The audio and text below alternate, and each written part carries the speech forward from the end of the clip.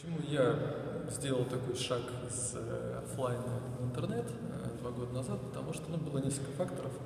Э, Первый касался того, что до этого я занимался отделом, то есть частью других продуктов.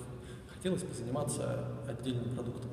А во-вторых, стало немножко, наверное, скучно заниматься тем, что у тебя раз в неделю дедлайн, примерно все делаешь каждый раз по похожим принципам. То есть понятно, что бывает драйв, когда ты найдешь какую-то интересную историю, сумеешь ее э, раскрутить, получить обратную связь, но э, пришло к пониманию, что надо немножко, хочется более быстрого темпа, А, то есть где меняется все гораздо быстрее, э, где куча всего нового, а, потому что здесь уже казалось, что все равно основным каким-то базовым вещам научился.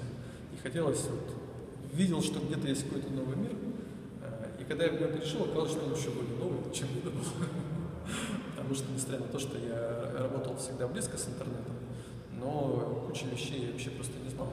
И там, несмотря на то, что прошло два года с того момента, я продолжаю постоянно э, открывать кучу пробелов в своих э, знаниях, в своих навыках.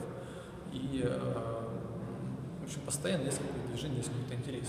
Самое главное, что все очень быстро меняется. То есть, если тебе кажется, что ты чему-то научился, и ты умеешь что делать, то очень быстро, во-первых, все другие научатся тому, что делаешь ты. То есть все приемы, которые там, мы делали когда-то первыми, они уже становятся штампами просто за счет того, что их делают все другие. А, во-вторых, э, ну, то, что работало вчера, скорее всего, завтра работать не будет.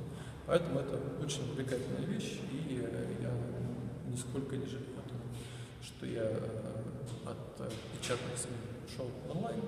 И там, по реакции тех людей, которые сейчас осуществляют э, тот же переход спустя какое-то время, я понимаю, что для них этот мир тоже очень увлекательный, интересный, и он не оставляет шанса просто увлекать в себя.